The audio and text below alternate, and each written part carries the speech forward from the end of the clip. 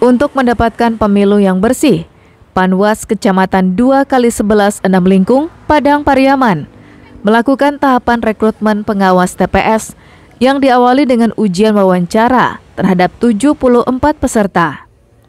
Proses seleksi yang dimulai pada tanggal 19 Desember tahun lalu membutuhkan 53 pengawas sesuai jumlah TPS.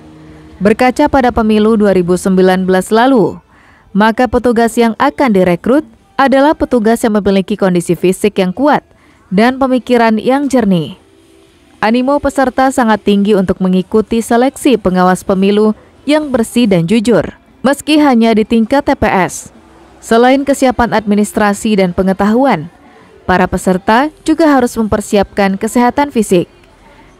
Untuk ikut serta dan berkontribusi dalam uh, pengawas penyelenggara di tingkat TPS uh, alhamdulillah saya sudah menyiapkan uh, fisik saya, uh, terutama saya sudah uh, mencek kesehatan di uh, kesmas uh, terdekat. Dan saya ingin berpartisipasi langsung dalam pemilu 2024 ini, melihat apa-apa saja yang terjadi dan mengawasi jalannya pemilu di 2024 ini, walaupun saya hanya di uh, menjalani di TPS. Peserta yang dinyatakan lulus adalah peserta yang memahami tantangan pemilu sesuai dengan tugas dan fungsinya sebagai pengawas TPS